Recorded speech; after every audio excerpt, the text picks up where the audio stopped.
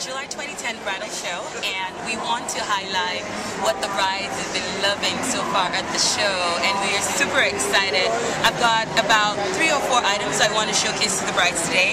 I've got the awesome save the date that shows the bride and groom's uh, baby photos. That's the bride and that's the groom.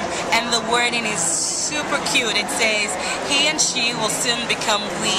Please save the date. And it has the bride and groom's wedding date. And then it's got their names at the bottom. A very nice design. We are able to customize this to kind of suit their um, chosen wedding colors.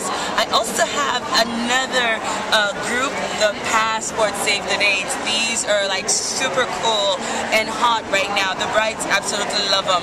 I've got one right here that kind of has the United States passport seal, similar to the one that you would see on your regular passport at home.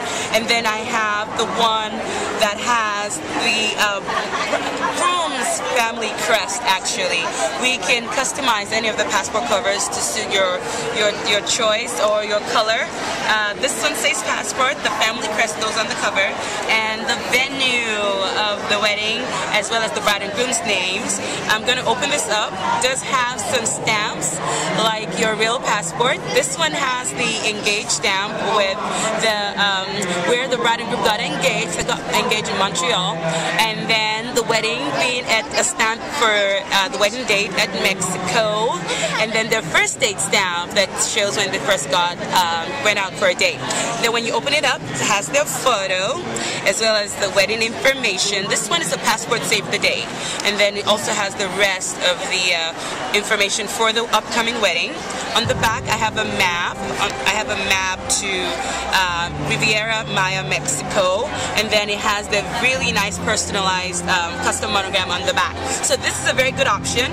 This also came with a um, response postcard that the guests can just um, send back. The bride and groom will pre-affix a stamp on there. The return address is pre-printed, and then they just check to see if they're coming or not. This is super hot right now. This is the other passport, save the date.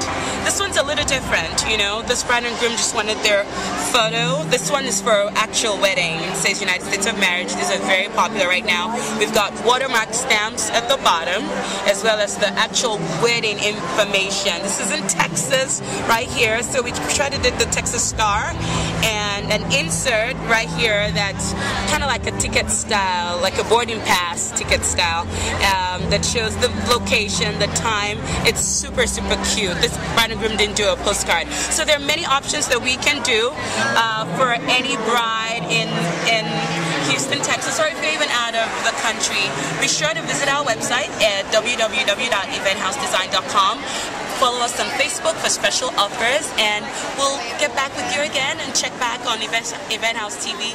We're super excited about the great things we're offering, so check back with us shortly. Thank you.